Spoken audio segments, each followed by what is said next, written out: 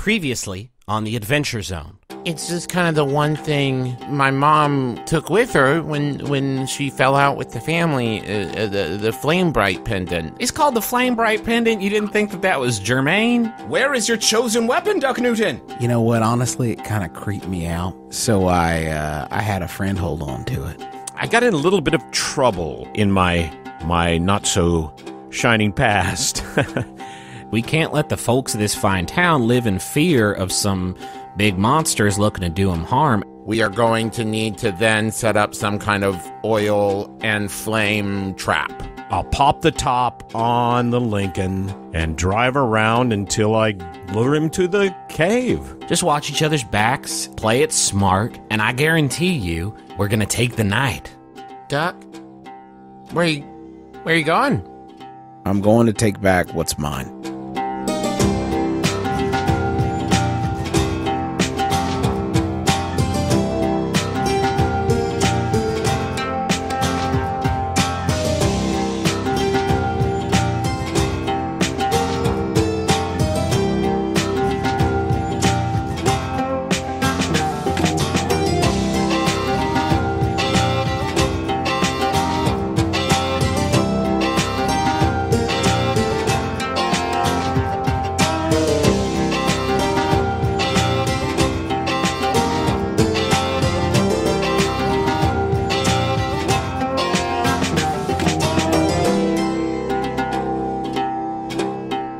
We're gonna we're gonna do this damn thing. We should mention that Dad, for the first time ever, is recording at his own setup at home. So if he comes in sounding like some sort of sort of shrieking demon or horrible gargoyle, Yeah, I do like that. After four years, we were like, you know what? We're gonna wait for the finale episode of this arc to Yeah. set, to have Dad do it on his own. yeah, I was listening to an episode of um the the first live episode of Hello from Ma- the Magic Tavern, and at the beginning of it, they had a witch come on and curse them with technical difficulties. and, I thought, and I thought, fuck, that's good. I wish I could steal that. Wish Yeah, thought okay. that, uh, this is if if Dad is in fiction antagonists Yeah. of audio difficulties. It's amazing. if that sounds blown out, it's because there's uh, interference coming from the the gate in in the middle of the woods. Oh, So good, good, There we go. That's set up, and let's uh, we've put this off long enough. Let's let's get busy.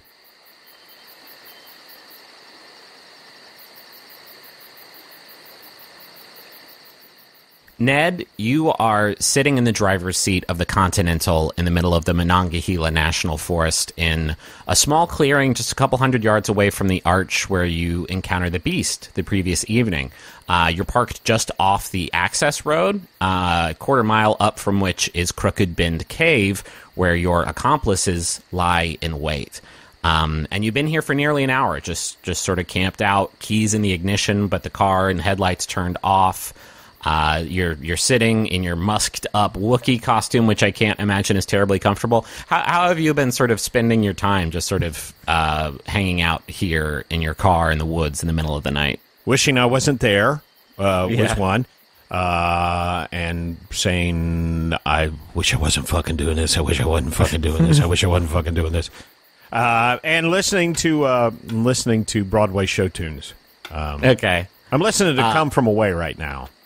All right, I like that. I think you're in the middle of saying, "I wish I wasn't fucking doing wish this. I I wish I wasn't wasn't." doing this. When all of a sudden, just like last night, the ambient sounds of the forest grow quieter and quieter still. The hum of crickets and frogs and owls fades out, um, as if switched by a dimmer until there's no sound at all. And then immediately in front of you, you hear the sound of multiple mouths pained breathing and see the moonlight glint off of a shape 10 yards in front of you. What do you do? I say one last time, I wish I wasn't fucking doing this.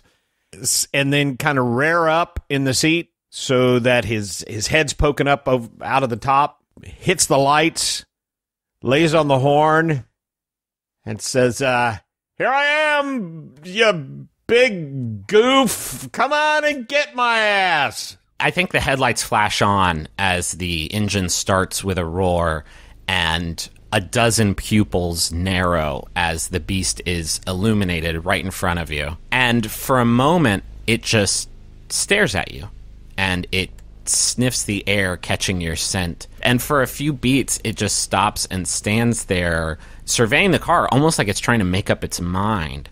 And then it takes a step forward. And and then another deliberately, slowly at first, and then a third faster before it breaks out into a full on charge in your direction with an echoing scream. What do you do?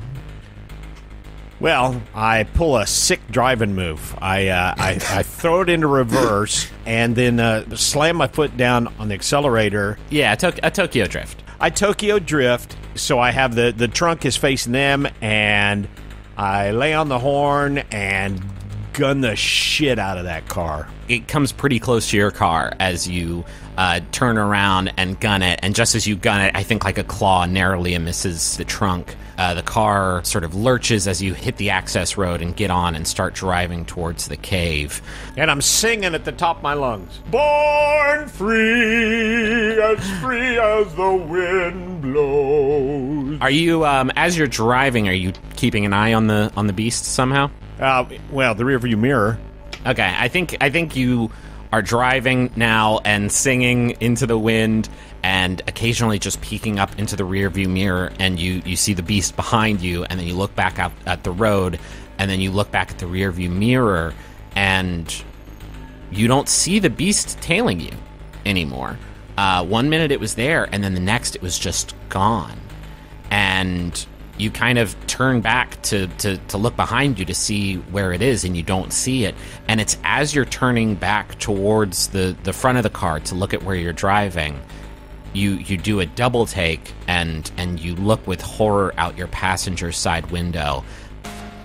And just behind the pine trees lining the road you see the beast barreling at speed with your car and it's frenzied black slime is just spewing from its mouth streaming behind it as it runs and its eyes its many eyes are pulsating with bright red light and before you have a chance to do anything else it takes one last long step and jumps in the direction of your car Oh shit!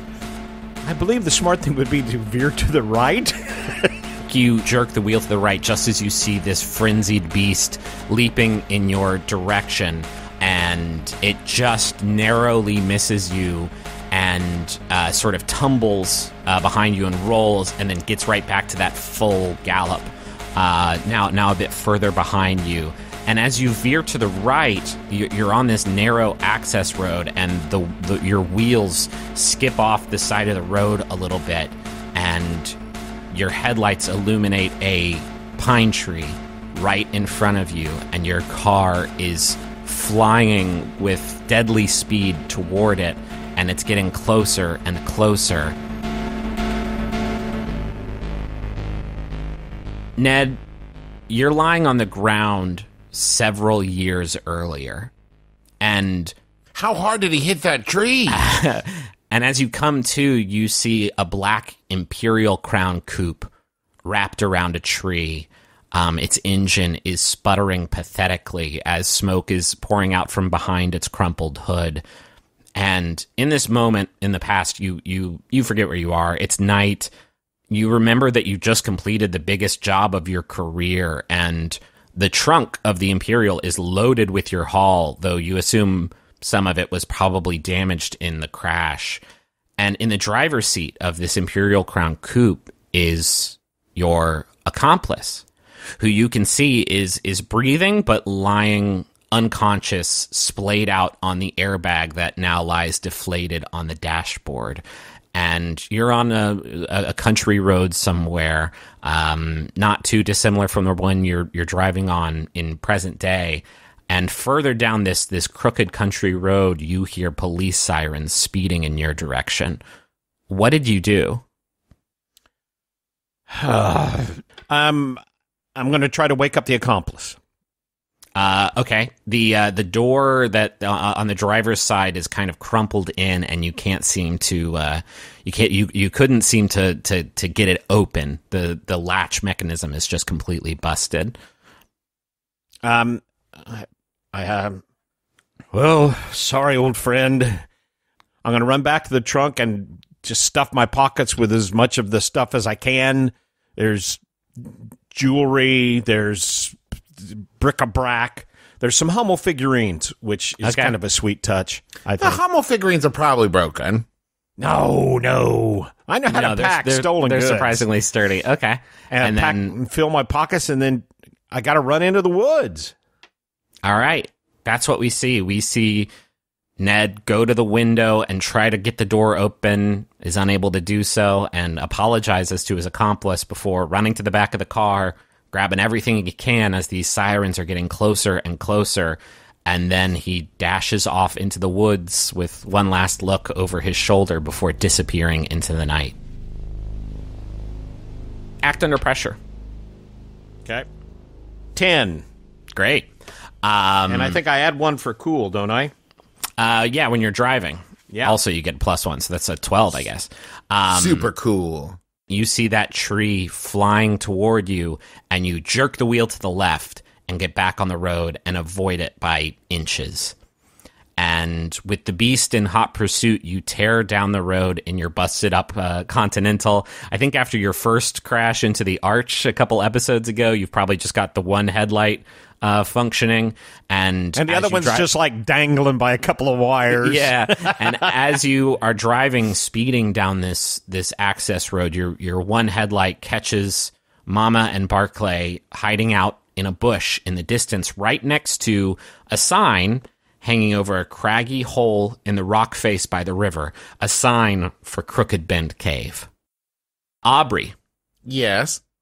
Aubrey, you're in Crooked Bend Cave where the trap is set. The oil is spread along the floor in the cave's entrance chamber. It's a huge space that's uh, right now lit by floodlights that Duck borrowed from the ranger station. And these floodlights are, are shining along the smooth tan walls of this cave, uh, bouncing off several stalactites uh, hanging from the ceiling of this area. What have you been doing as you've kind of just been waiting in this space for, for the better part of an hour? Well, I want you, you know, uh, I don't know if everybody did this when they were a little kid playing hide and seek, but like when you bounce kind of from hiding spot to hiding spot because you keep thinking of a better one. Yeah. Like that's what Aubrey's been doing, waiting, like, oh no, wait, and like moving Where are you, behind uh, a different. Where did you land? Where are you hiding right now in this moment? I think actually right now she might be between spots. You know, like she hasn't stopped switching spots, and I think it's a, a result of nerves.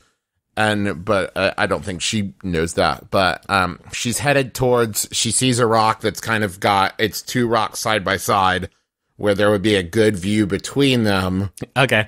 of the entrance. She's headed for that.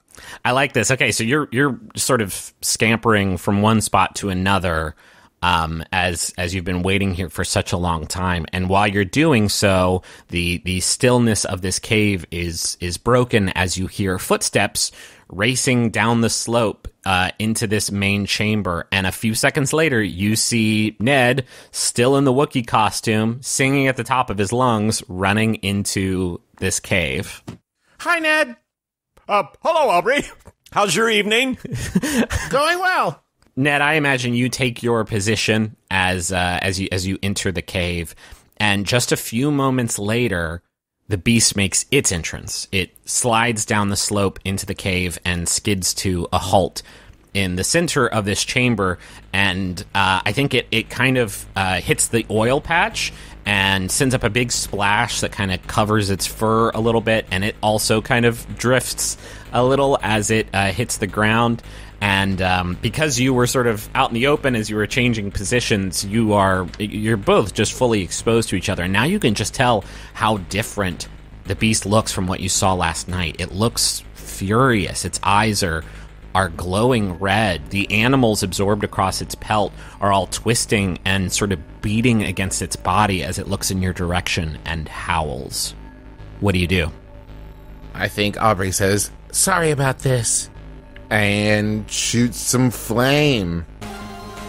We see Aubrey. You, you you raise your hand, and a spark ignites on your glove, which manifests into a small flame, which you clench uh, in your fist, and you take a deep breath, and you close your eyes.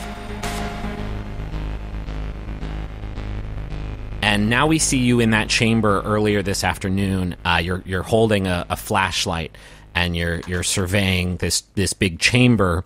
Um, and Barclay steps into your flashlight's beam and he he puts his hand to the ground as he kneels down and he says, "Yeah, I I think this is the place. So, what did you what did you have in mind?" Uh, well, I was thinking like oil on the ground and then fire. Um, I don't want to fill this cave up with oil and then have you all get in it and then you set it on fire and you die. I want to try to like control that's it fair. with some strategic oil oil placement. So anything any guidance you can give me for some like specific oil placement would be would be ideal. um, okay, here's what I want. Give me a big patch right in the middle and then a second ring around it. So kind of a target shape. So that way, if we get him in the middle, Yeah. we can then keep him from fleeing with a second barrier. Does that make sense? yeah, I'll make that second ring uh a burning ring of fire. Ah, I'll make it. I'll make it nice and big so you guys have some space to work. That's that's that's a good plan. I think we're gonna get him in that. thank Um, you. And then I think the two of you, I, I think he hands you a, a couple of canisters of oil that they use for the lanterns back in the lodge. Um, and the two of you take a few minutes to set up this trap. Big, uh, big patch right in the middle, and uh, a big ring uh, that it is sort of uh, you have like one stream of oil connected to, so you can just sort of light the whole thing up in one go. Um, and it's quick work. You you just spread the soil out in the ground. You take a few minutes to like survey the the scene, find some good places to hide. Um, and uh, Barclay, after finishing up uh, helping you out, put the soil down. He says, "Aubrey, I gotta ask, why are you doing this? Like." D- don't get me wrong. I'm extremely grateful for the help. I've been trying to get Mama to expand the Pine Guard's ranks for months. I guess she's been burned before, and she uh, she hasn't had the folks that she felt like she could trust enough with our secret. But you, like, what are you doing here? Well, you know, I, I, I honestly, I don't know. It's one of those things. Uh, I'm sure you, as a Bigfoot, can relate to this, but is it just the feeling of I, I feel like I'm like I belong, like I'm supposed to do it. He uh, he smiles and he's like, "Yeah, I know that feeling. I had a lot of dark days before I knew that feeling. It makes me fills me with joy that you uh, you feel that way, Aubrey." Well, I'm not one for impulse control. And uh, so if my gut is like, yeah, then I'm like, yeah. And, and I'm, why question it if it, if, if I feel like I'm supposed to be doing it and I can help? Yeah. Agreeing to do this thing's one thing, but tonight you're gonna be you're gonna be facing down death, and I, I've been at this a little while, and so like I my only advice, well, it's ah, Jesus, it's it's tough, Aubrey, because if you were anyone else, I'd advise you to just lean into the fear you're gonna feel when you you look in that thing's eyes when it's on you, because fear's good for most folks, Aubrey. It keeps them keeps them ready, but you I I've known you a day, Aubrey, and I can tell you're powerful in a way that I've never really seen before. And and that power and he, he stands up from his kneeling position and he faces you and he says, We we got a saying back in Sylvain. Wild winds don't turn the mill. That that power you've got, if you don't keep it under control, it can be turned against you in an instant. It can be turned against the people you love in an instant. Do you know what? Do you know what I mean? Do you know what I'm saying? Yeah, but frankly, Barclay, the same could be said about a sword or a gun or a car or anything. He says, or a Bigfoot. I, I, I look. I, I don't mean to tell your business. I'm, I'm sorry. I don't mean to preach. I know that you can handle yourself. It's just, I am, I'm speaking from experience, Aubrey. It takes one misstep. It takes one moment. And you can find yourself using that power in a way that you will regret for the rest of your life. Roll plus weird for use magic. Uh, it is well, it's an eight, frankly. Um, Okay, that's good. Uh, pick a glitch for me from okay. your list of use magic glitches. And this is this is a very fun thing about Spellslinger. And I, when you're picking these, I would again get down on my knees and beg you not to pick the thing that is going to be the most like help you win the game, but instead the thing that is going to be the most narratively interesting. No. I think I'm gonna have to go with the magic draws immediate unwelcome attention. Okay. Yeah, because I think the plan had been from a hiding place, ignite the fire, and then Ned and and Aubrey would skirt the ring and get outside the cave. Yeah, but because of this unwanted attention, that escape plan is no longer on the table. I, I, I yeah, that is taken off the table. Uh, we see the fire erupt from your open palm in in slow motion and spread across the surface of the oil patch. And we see the beast's heads turn in unison towards the heat and the light as the oil below it and covering its fur ignites uh, setting the beast ablaze for six harm. Um, and the ground, the ground shakes as its screams reverberate through the cavern, and you see its eyes actually tear open further, revealing some more of that red light. And you also see holes burning in its patchwork pelt, and it's revealing this this black slime carapace within. Um, but the beast, uh, like instinctively from that spot in the middle of the floor, turns towards you, Aubrey, and takes a swing. And I think you have to roll. Um, and as you do, you land inside of uh, the the ring of fire. Um, and now all three of you are trapped in this in this fight, sort of engaging with this beast. And Duck, Hey, welcome to the podcast, Justin Tyler McElroy. Special guest. Duck, from your position in the cave, uh, which where is that? From what I heard, I was in the Ring of Fire, correct? Uh, yeah, you are all in the ring of fire now. Well, then it seems like that's my locale. Well, it's a big, it's a big ring of fire. I'm imagining, were you hiding out, waiting for the trap to be sprung? What were you doing? Uh, yeah, that that I think that would make the most sense. Okay, I, I, I mean, I think the ring of fire is like the whole circumference of this of this chamber.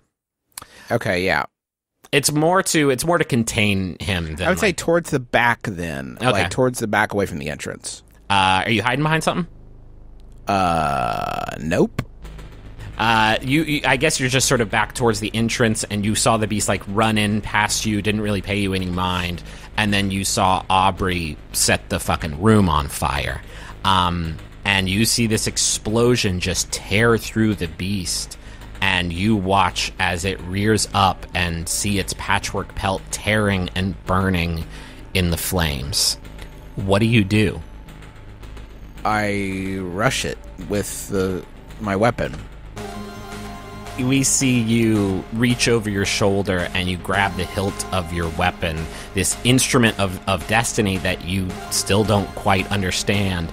And I think we see you from behind, actually, just your silhouette as you rush towards this this beast in the pyre, and you race towards it, ready to strike toward the flames. And then we see you just a few hours ago uh, as the bell above the door to the Cryptonomica chimes, as Ned and Duck walk into the museum while you go and take back what's yours. And at this point, you and Dad go for it and describe how this handoff happens. Well, where is it? Uh, in the chicanery. I keep only the most secret things back there so Yeah, nosy Kirby doesn't get it. Come on. I follow him to the back. And we go back and come finally to a door, a quadruple locked door. Ned puts his click reader glasses on and goes through a set of keys and unlocks it and leads Duck back into the chicanery. so you take you take him back into the inner sanctum, as as it were. The inner inner sanctum. Inner sanctum. Yeah, this is the room you talked about earlier that Kirby's not really allowed into. And No. It, uh, it ha- is Duck like the first person who's ever been in here that isn't you? Yes. Oh, nobody nobody's allowed back in the chicanery. All right. Um, it is the innerest sanctum. And there are uh, uh, now a character voice I can't get out of. Uh, there are display cases. There are all kinds of display cases and shelves. And empty Coke Zero cans everywhere. And, uh, oh no, the new Diet Coke, feisty Oh. cherry. Hmm. Um, Still looking for sponsors, by the way. If you're listening, Every- Diet Coke. Yeah, Diet Diet Coke's a big one for podcasts. If you can lock down Diet Coke for your podcast, listen, I love life. this new feisty cherry because not only does it have that cherry flavor, but it has that little bit of kick of heat in it. Yeah, Yeah. Um, but uh, all these locked display cases, one of them has an Oscar in it. and uh, when you look fucking Oscar. when, when you look at it, no, no, we got to dial in on this. Who did you steal an Oscar from, and what's the Oscar? it's uh, Clooney's Oscar for Sicario.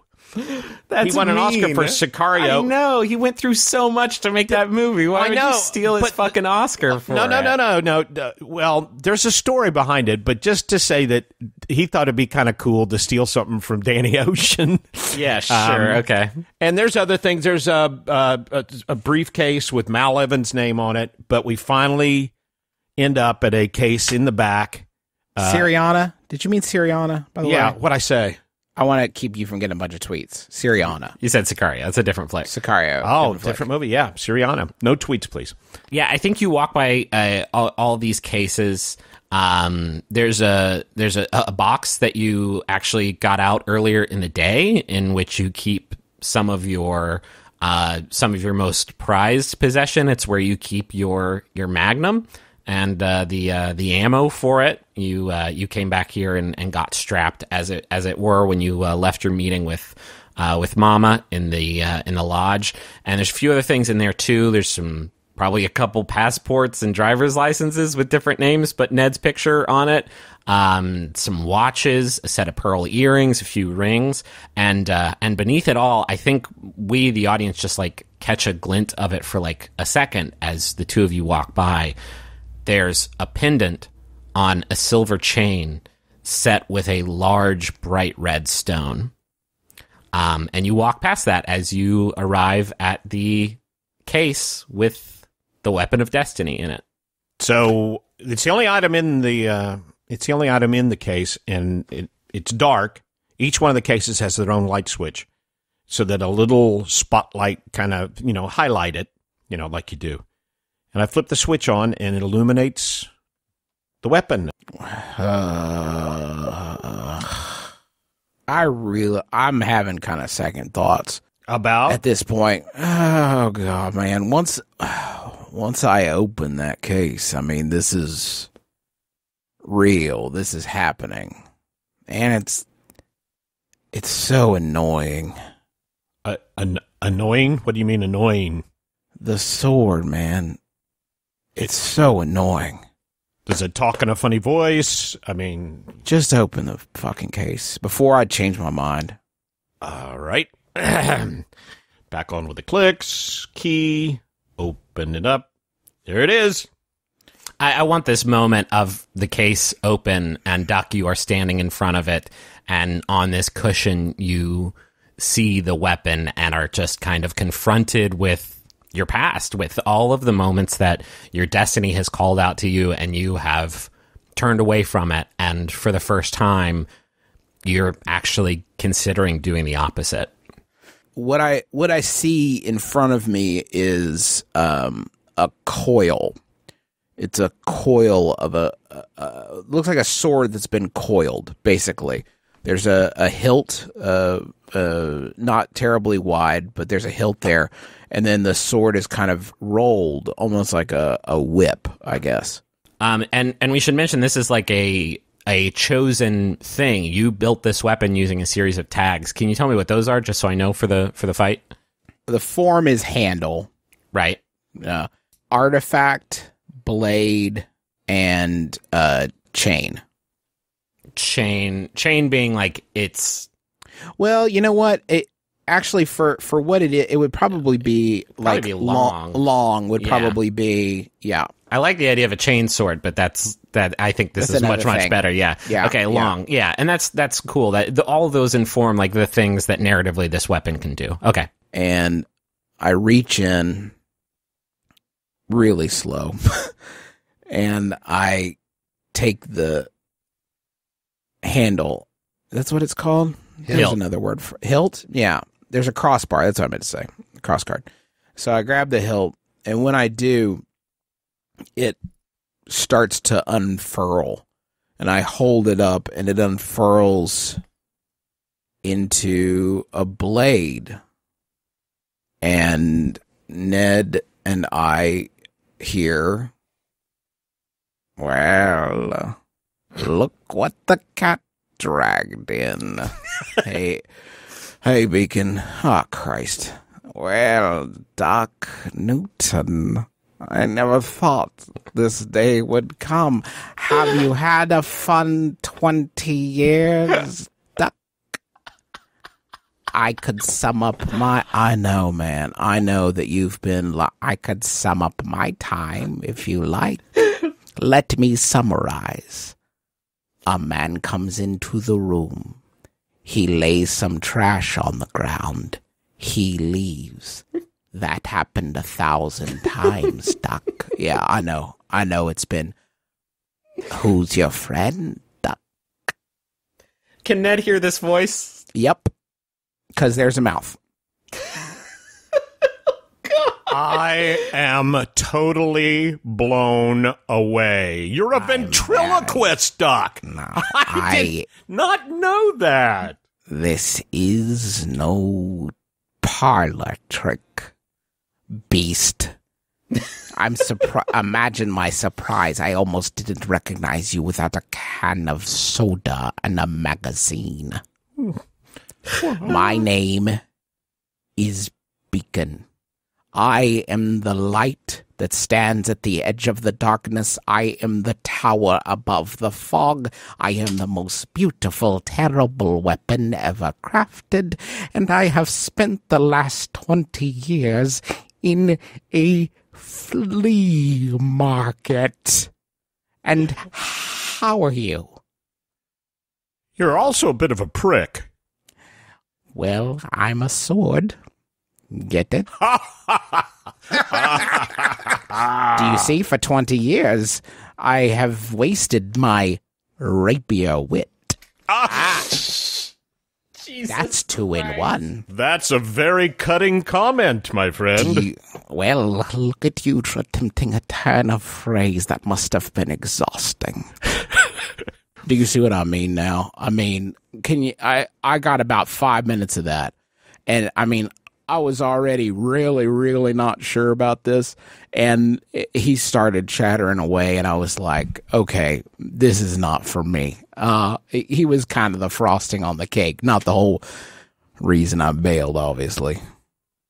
How does it feel, Duck, to hold this weapon? Obviously, there's a slight annoyance that comes alongside it, but the sword is not lying. This is a this is a powerful thing, and you know it is a powerful thing, and you probably haven't touched it in two decades. How does it feel to be holding it again?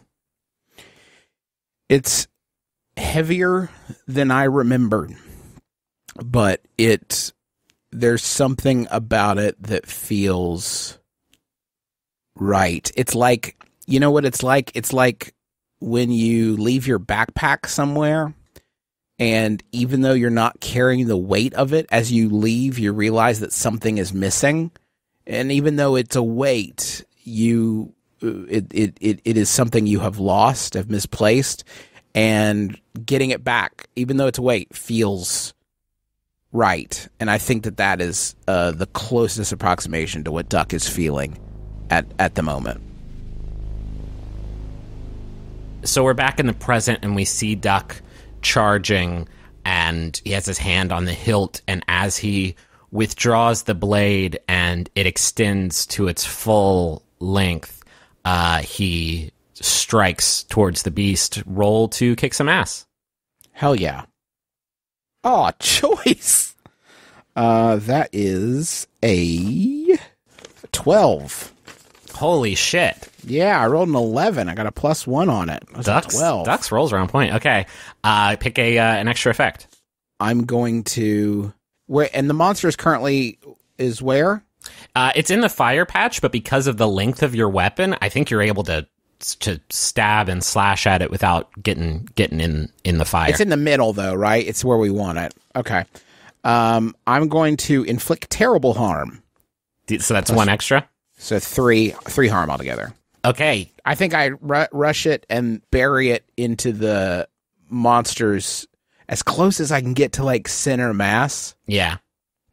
and I I bury it into its gut, and I hear, "Oh yes, this is much more like it." See, I love being put to work, Duck. We could have been doing this for twenty.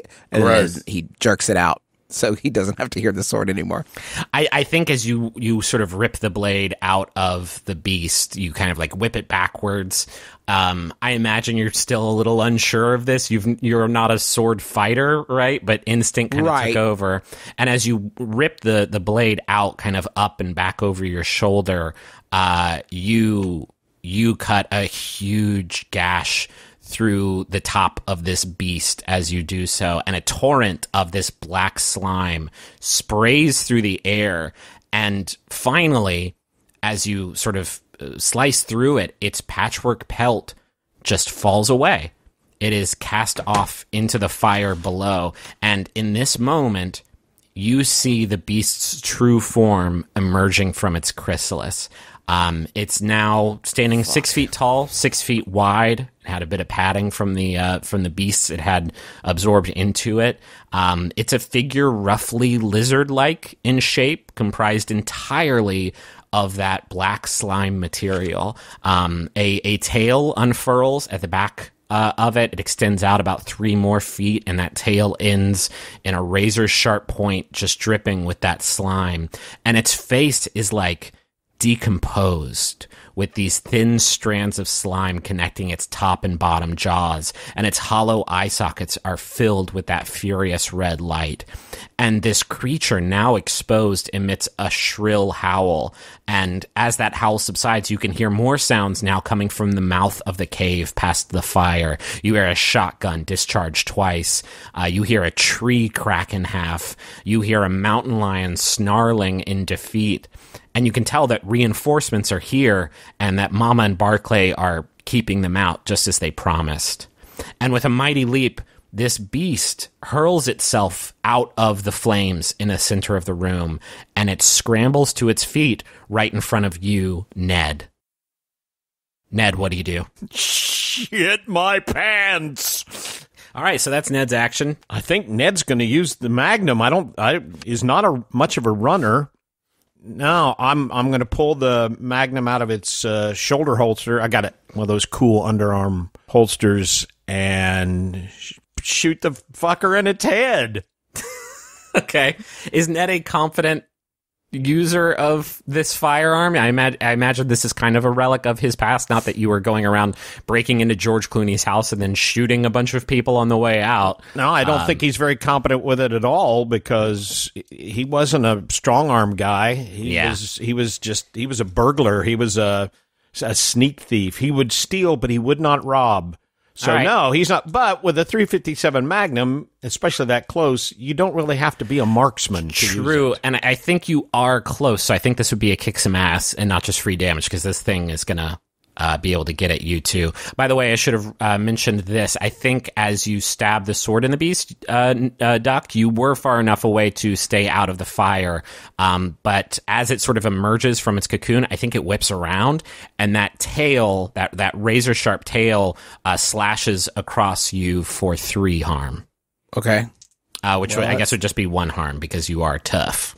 Did I? How do? Uh, real quick point of order. How does recovering harm work? Uh, you were at zero harm. Uh, the the Okay, injuries so that the, I had two that held Yeah, over, yeah. but it's like, is it like per engagement, sort of? It- really it's per injury. So if you have these like minor injuries, which the the the fight that you had with the the beast last time, uh, the the injuries you sustained were minor injuries. Those you treat overnight or whatever. Bigger hits, if uh, Ned or Aubrey take that three harm hit, they're going to need to do something about it. Um, uh, or or or else things can get bad. A three harm hit is like a you know a, a real bad like bruised rib or something. Anything past four harm, you need to go to the hospital um, uh, because you are then unstable. Four or more, not past four. Four or more. Right, right, right. Right, but like I, I recover the injuries. Yeah, it's all If- as long as they're below three, below four. Yeah, yeah. I recover overnight or whatever. Yeah.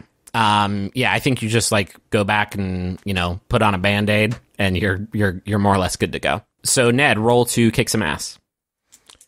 Kick some ass. All right. It is an eight, and I have zero tough, so eight. So I pull it out of the holster, I point it at his head, and I say, You feeling lucky, punk? Fun. And I imagine you then pull the trigger. That's when you do it. Yeah. Okay. Uh yeah, you shoot this thing right in the face. Uh what uh what's the harm on your revolver? The revolver is two harm. Yeah, uh, I you you point this gun at its face and pull the trigger, and there is another spray of black slime, and I, I think all three of you are for a moment like temporarily kind of deafened as the sound of this gunshot just like explodes in this this cavern. Um, it is indescribably loud, um, and the uh, the beast uh, rears back uh, and uh, sort of uh, ta takes this shot head on, no pun intended. And as it comes back down from rearing back, uh, I think it hits you with uh, one of its one of its claws. It has this like lizard like form, but its two front arms end in these these deadly claws uh, that I think it just like jabs into you, which knocks you backwards, but it also hits you for two harm. Um, and you are knocked away from the fire in the center of the room and we jump to aubrey. Aubrey the, the fire in, in this room is now burning i think a lot hotter than you originally anticipated. This cavern is actually starting to get a bit sweltering and uh, smoke is accumulating in the top of the chamber as the beast reels back from ned uh, and uh, it, it kind of comes down a few feet closer to this blaze. It's nothing that is like posing any threat to you right now, though. What do you do? Is there any system like bloodied or anything in this game to know like we now is the time for finishing? How close those? it is? Um, no, not really. Every everything like that, and this covers a lot of stuff like this in this game is all narrative. You this thing you can tell it, you have burned away its armor. Uh, that gunshot would not have done as much damage if it still had that patchwork pelt, but because of the trap you guys laid and uh, the the stuff that you did, it now no longer has that armor. Uh, so it is it is exposed, and you you know what it's weak against, and you've dealt a shit ton of damage to it so far. Okay. Um, I'm just gonna shoot fire at it again. I guess.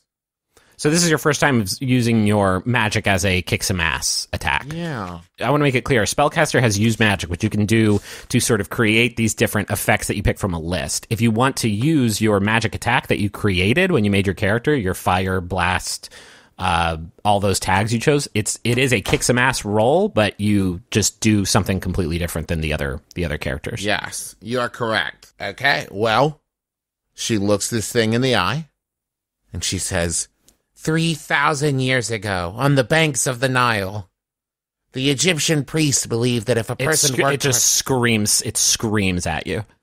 I am that person. That's what I was getting. Anyways, fire. And then, okay. So that's a 10.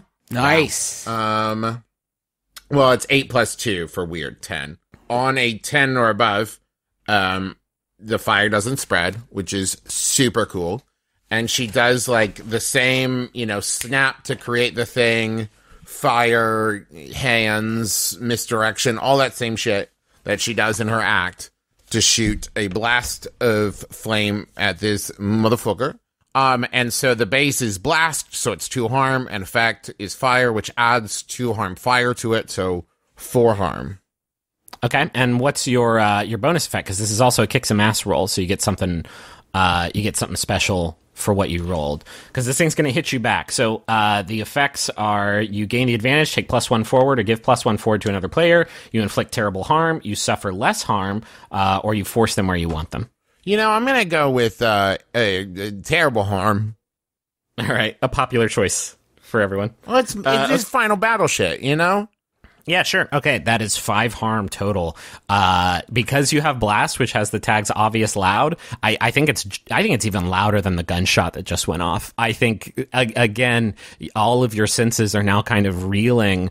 Um, I also want you to just picture when that goes off the first time it being Aubrey's doing it like in anger and and she's just laughing hysterically after it happens. Like, did you see that? What was that?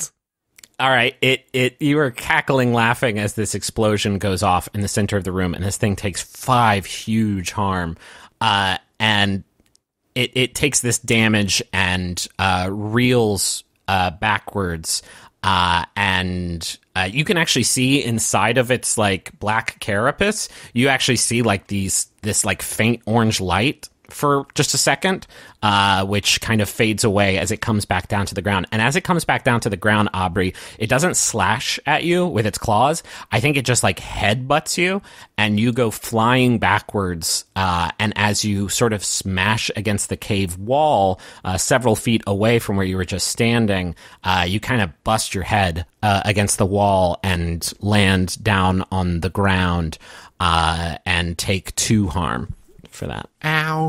Uh, Duck, uh, you see your new friend Aubrey, uh, Torch Torch Girl, as you call her, get tossed backwards, uh, ragdolled by this thing after she uh, explodes it again. Uh, you are holding the blade in your hand, and what do you do? Where, what's my sort of which way is the beast facing? Which way? Where? Um, where- not not towards you. I think the beast is still facing toward Aubrey. You're standing kind of off to the side, uh, just a few feet away. This is these this is kind of tight quarters, so you you're not too super far away from this thing. Okay. I will uh I guess I'm going to try to tackle it. Yeah. I think that's what I'm going to try to do.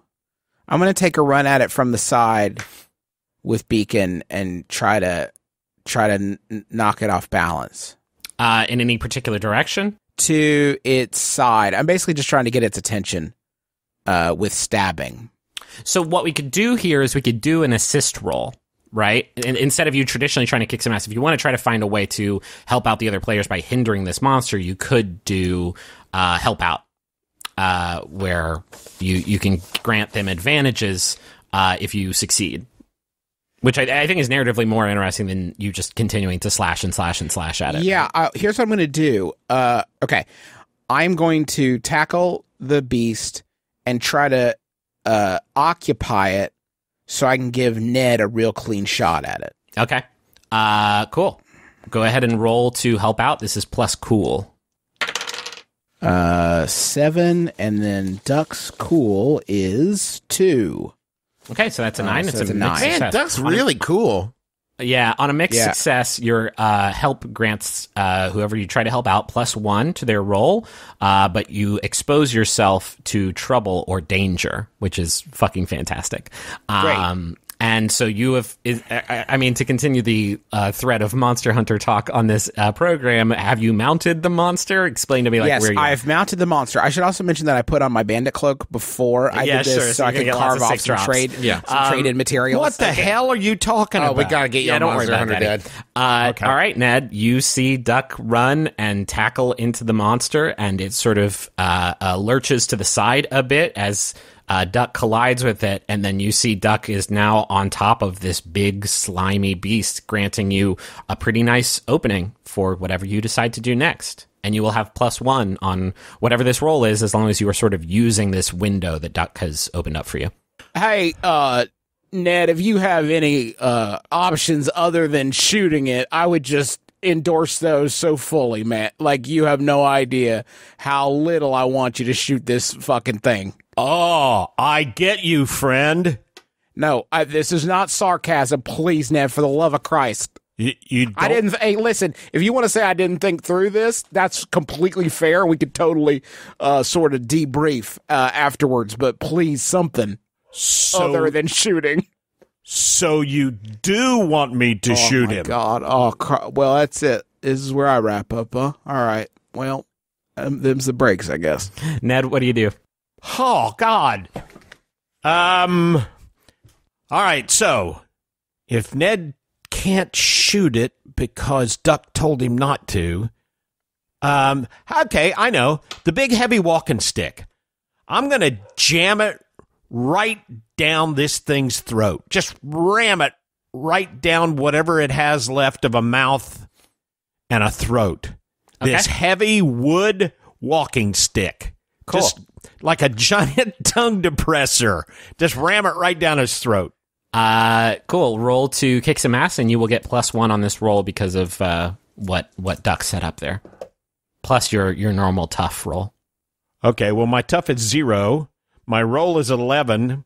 Plus one makes it 12. Jesus, these fucking rolls. Swear to Okay. God. I All love right. these new die. Pick an extra effect from the list for uh, kicking some ass. So very good. I think. For, um, no, I'm going to pass it forward. I'm going to pay it forward. Pay it forward to Aubrey. Uh, okay, you grant uh, Aubrey plus one forward on her next roll um, as you jam this thing down the monster's throat. Um, and as you do so, um, I think it rears its head to the side and kind of like yelps uh, as much as it can yelp with a big walking stick in its throat uh, in pain. And then when it brings its head back around, it just smashes into you. Um, and I think it probably just does one harm as you are knocked backward. And as it does that, Duck, you're also kind of tossed from its back and you land several feet away. Uh, and as you hit the cave floor, you also take one harm. Um, How many harmses do I get? Uh, seven, but it, once you've taken four, it's serious damage. Yeah, Okay. and Griff, please, if a harm is below two, please don't bother me with it. Okay. uh, and now this thing is looking super not good. I know what I want to Uh, do. I know what I want to do. I want to enchant a weapon and set that locking stick on fire. Yeah. Okay. yeah. Uh, roll to use magic. Uh, well, that didn't work, but I'm going to use my luck here because I really want to do this. Okay, you're spending a point of luck. Yeah, because I think this is a big finishing move. Yeah, I love it. Okay, mark, mark, uh, mark luck, and you have spent one luck. Hey, I, I want to do a cool line. Yeah, yeah. Do a cool line. Fuego, you bastard. The monster lands on the floor with this walking stick in its throat, just kind of barely emerging from its mouth. And Aubrey, you're laying on the floor right in front of it, uh, and you just sit up and you grab the walking stick with your hand, and we see it glow. And as it glows uh, bright orange, I think the chamber grows silent as we watch the inside of this monster glow softly at first, and then brighter and bright orange, and then in a spray of black mist, the beast explodes. And as it explodes, I think all three of you are flung backwards uh, away from the beast as this wave of force shoots out at you.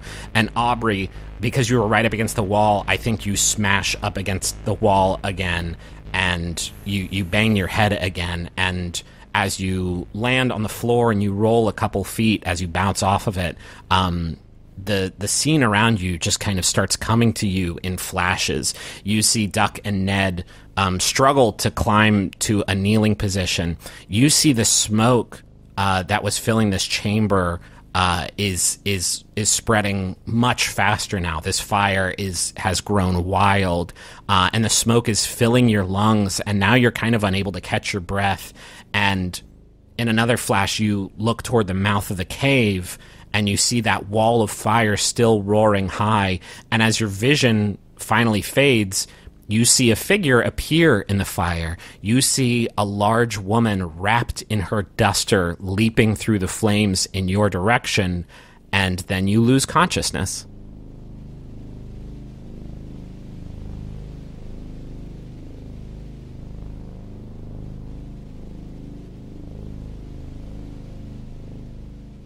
Hey everybody, this is Griffin McElroy, your temporary dungeon master, your best friend, and your old old sailor coming into the docks, got a bunch of fish that I'm here to sell to the townsfolks. And uh, thank you so much for listening to the Adventure Zone. This is the final episode in our Amnesty mini arc. Uh, we've had so much fun doing this one, and I feel like we all really learned a lot about what we want to do for uh, the next full season of the podcast. So we hope you enjoyed it, and uh, we are going to be moving on to Travis's game next, a, uh, a mini arc that he's calling Dust. Uh, and we are going to be playing a new game uh, called Urban Shadows. If you want to go ahead and start reading up on that, and you'll find out a lot more when we do our setup episode uh, for the Adventure Zone Dust, DM'd by Travis McElroy, starting next week. But for right now, let's talk about some advertisers.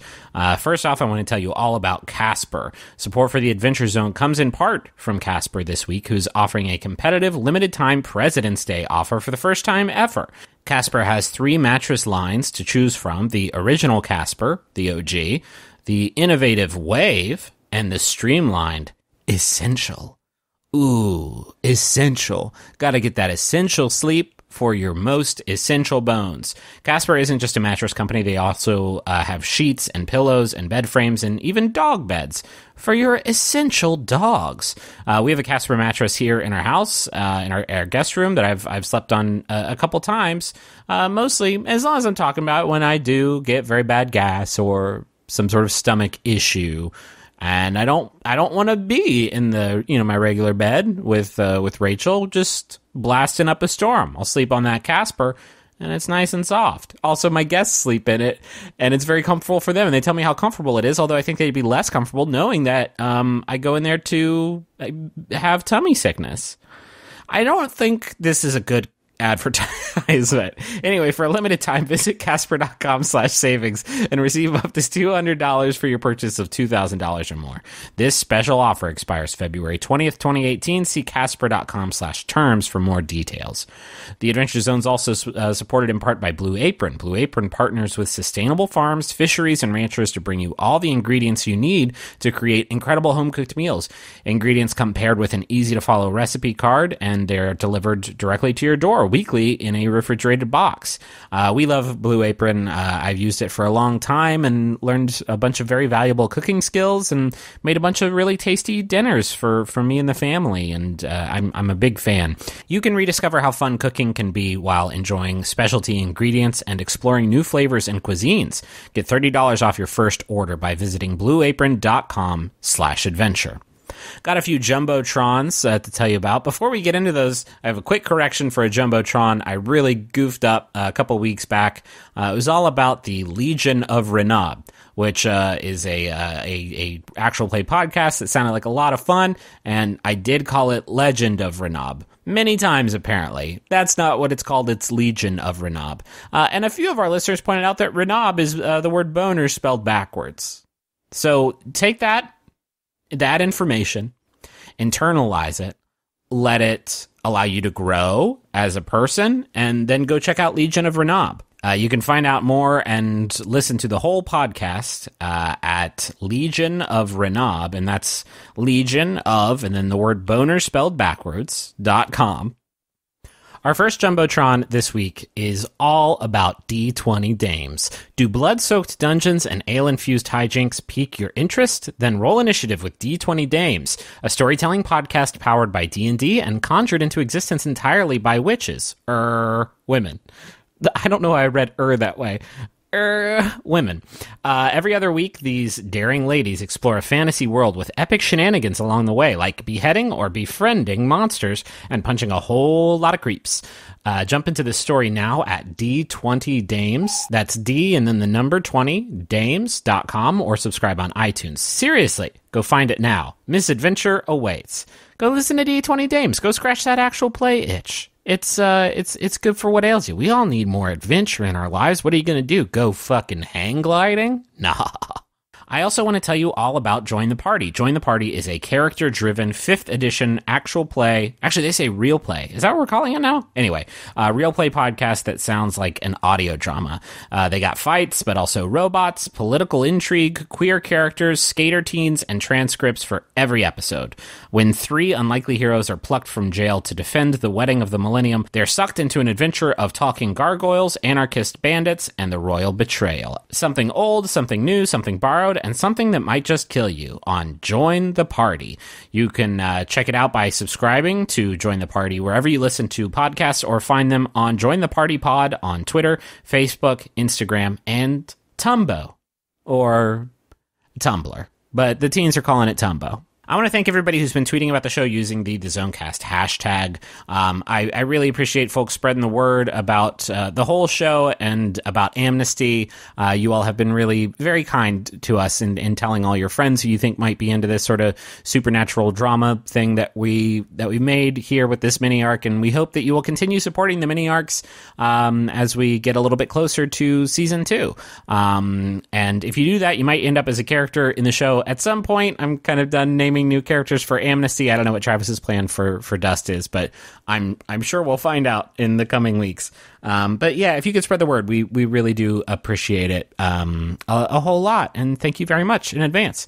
Uh, uh, I also want to thank Maximum Fun. You can go to maximumfun.org and check out all the great podcasts there, all for free, and I guarantee you're going to find something that you're just going to really fall in love with. Shows like Stop Podcasting Yourself and Judge John Hodgman and Lady to Lady and Switchblade Sisters and Tights and Fights and so many others, all at maximumfun.org. And uh, if you want to hear and see the video stuff that uh, we all do do, you can go to McElroyShows.com. Uh, also, we are making a graphic novel adaptation of the first arc of the Adventure Zone balance called Here There Be Gerblins, and you can find out more about that and snag a pre order at theadventurezonecomic.com. I'm going to let you get back to uh, kind of the come down of this episode. Uh, and again, thank you all so much for uh, all the support that you've shown for, for Taz Amnesty. It, it, it means a lot. And um, we'll be back next week with the setup episode for the Adventure Zone Dust. So uh, I'll talk to you then. Bye.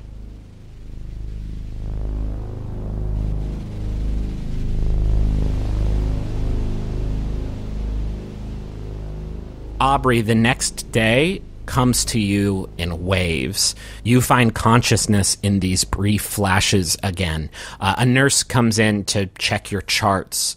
Um, Ned and Duck swing by for a visit. Uh, a different nurse changes your IV. And in one of these flashes of consciousness, there's Mama, and she's in the hospital bed right next to yours. And her hair is a bit singed and she's wearing an oxygen mask, but she's otherwise no worse for wear. And she's holding your hand and she's smiling behind her mask. And then in another flash, it's morning and Mama's bed is empty. And Barclay's sitting in the corner and he's he's reading a lamplighter. And as you start to stir, as you finally wake up, you see him peek over the paper and he looks a bit startled and he says, "Welcome back." Where's Mama? Oh, she's she's she's fine. She um she ran off last night, asked me to come in and stand vigil. And Dr. Harris Bonkers. How's Dr. Harris Bonkers? Dr. Harris Bonkers is back at the lodge. Danny's watching. Him. Okay. Mama said she had to run an errand. She um she actually left you something. And he he reaches into uh, a jacket. He's wearing a big pea coat. Uh, and he pulls out uh, a piece of paper. You can actually tell that it's a medical chart uh, that has been like folded up and uh, written on your name is written on the uh, the outside of this letter. And he hands it over to you, and uh, he says, um, "I'll go. Uh, I'll go tell the nurse that you're up.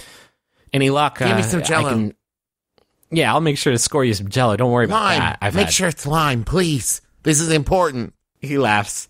He says, I, I, I, talked to him. They said, any luck, I can take you back to the, the lodge tonight to recuperate. Aubrey, you did unbelievably well last night. Then get me two jellos. he laughs and he walks out of the room. And you open Mama's letter. And it reads You and I don't know each other very well yet, Aubrey Little. So you'll have to take my word for it that I'm not the kind of person who finds themselves satisfied or impressed by the exploits of other folks very easily. I'm I'm quick to shut folks out, and I, and I know that. This life I live requires it. But Aubrey, I am proud beyond belief to know you. You did something last night that few folks can do, and I'm not talking about shooting fireballs out of your hands or slaying a monster the size of a Volvo either. I'm talking about the moment that you decided to step foot into that cave. You did something hard last night, something scary and necessary, and you did it without hesitating, not for a second. And that courage, Aubrey, I'd, I'd say you remind me of myself when I was younger if I didn't think it made me sound like a self flattering old fart. But yeah, you know.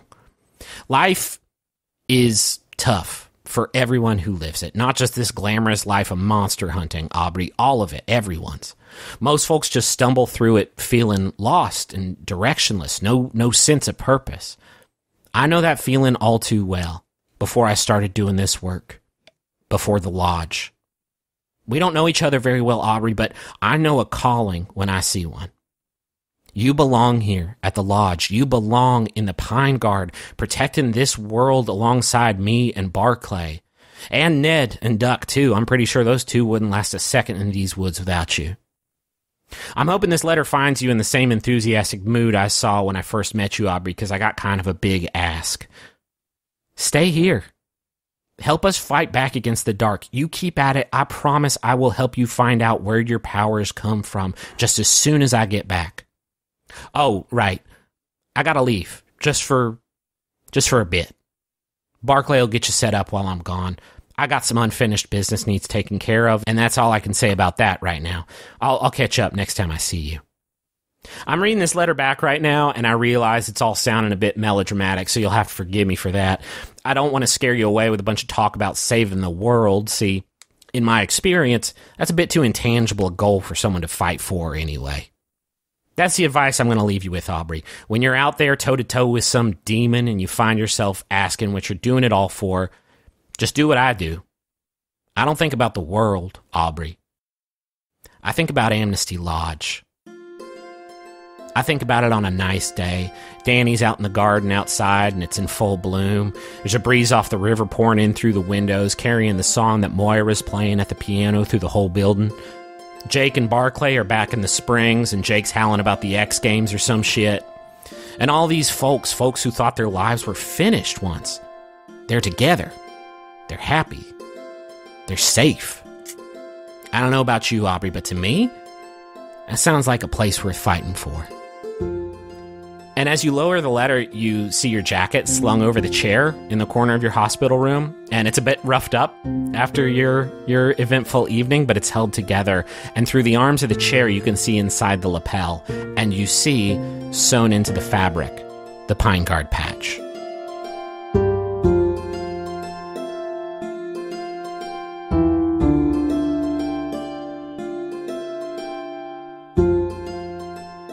Duck you're home the night after the hunt. How are you? Uh, how are you doing? Pretty shaken up, I think. Um, I, I think that Duck maybe doesn't. Uh, I'm not gonna say wasn't in control, but he was more capable than he sort of thought he would be, and I, I think it's it's left him a little unnerved.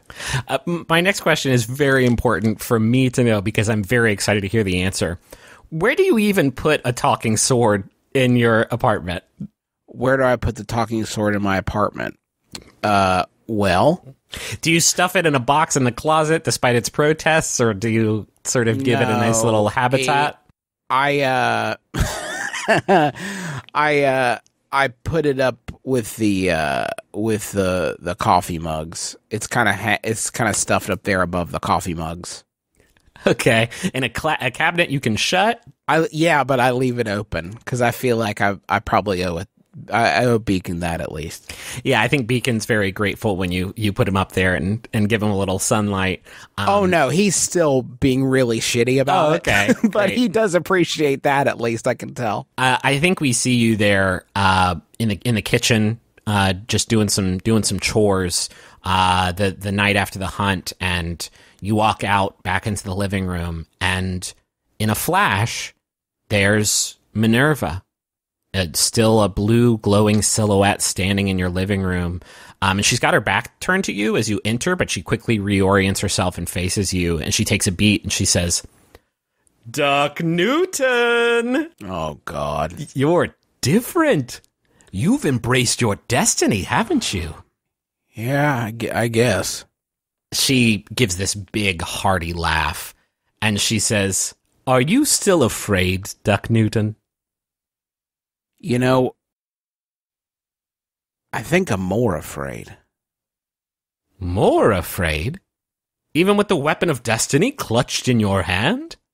Yeah, I mean, at, in the moment, it's kind of more of an annoyance, but now that it's sort of, I feel like I, I opened a door that I don't know how to shut, and for a long time, having a closed door was was enough, but I don't know how to walk this back, and I, I'm not crazy about that feeling. She looks contemplative for maybe the first time that you've ever seen from Minerva. And she says, I can understand that, but be not afraid, Duck Newton. You possess a weapon far greater than those wielded by your foes. You have me in your corner. And and what does that get me exactly? A friendship you will learn to treasure, Duck Newton. she she gives a big bellowing laugh again and she says, Duck Newton, your destiny is larger than you could possibly comprehend, my friend. With your bravery and my expert tutelage, you will find the strength you require to save. And just like that, Minerva disappears. And somewhere far, far away, we see Minerva. We actually see her, not just her shadow. She's about six feet tall, uh, head shaved, and decorated with paint in an intricate pattern down to her forehead. She's wearing a blue tunic over some bulky armor, um, and she's standing on this glowing circle in a dark chamber. And she's speaking to a silhouette in the rough shape of Duck Newton. And in a flash, Duck's shadow disappears as Minerva was mid sentence. And now she's alone in this place as the circle below her grows dim. And she closes her eyes and she sighs and she stays like that, almost meditative for several seconds. And then she opens her eyes and smiles at the progress her counterpart has made. And with several large strides, she walks toward the wall of this chamber and she slides open a window. And we see her there smiling as the faint orange light from outside beams down on her face as she's filled, for the first time in a long time, with hope.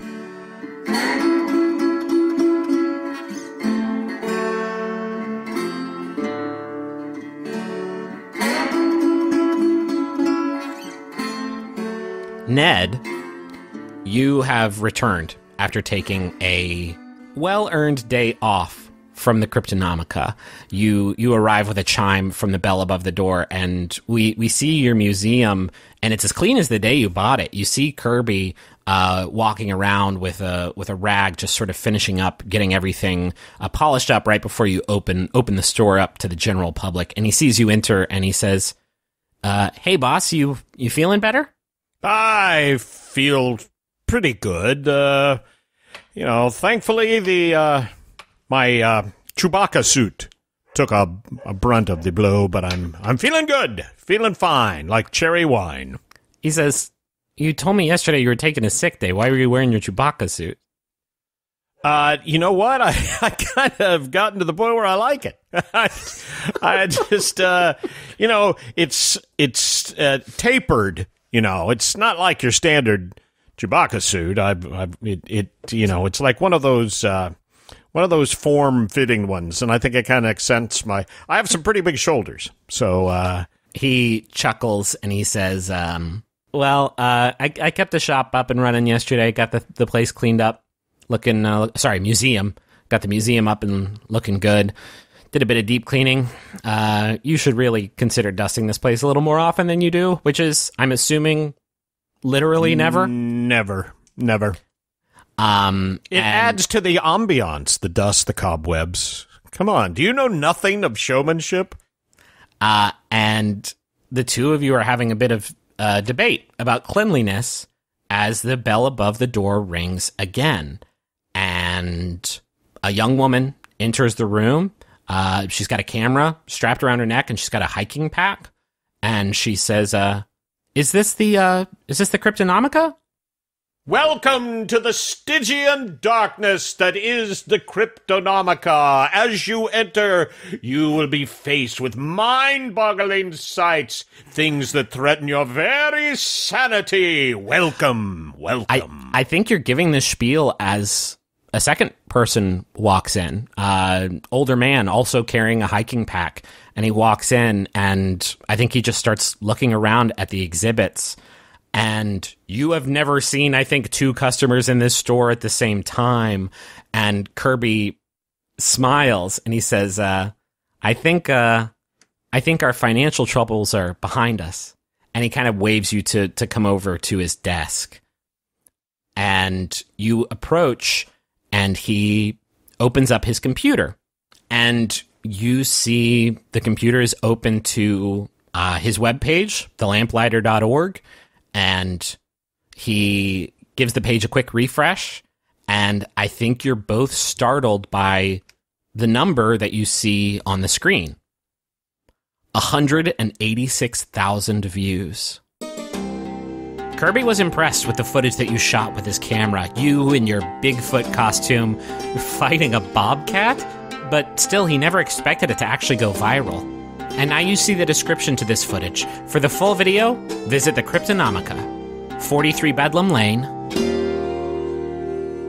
Kepler, West Virginia.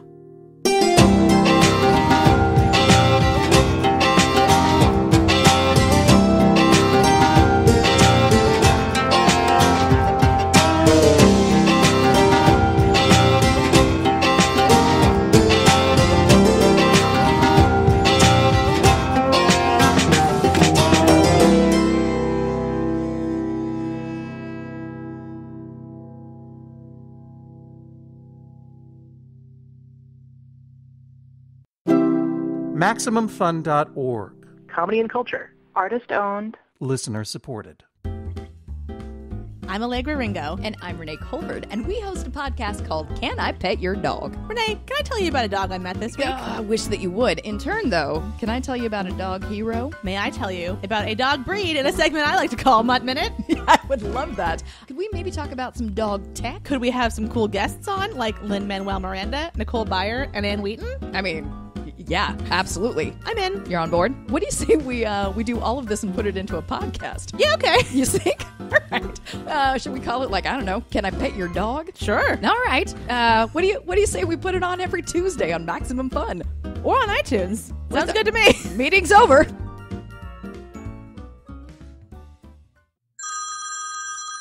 Yeah, Mark. Hey, buddy. Oh, hey, what's up, man? Um, so I'm at this mafia restaurant.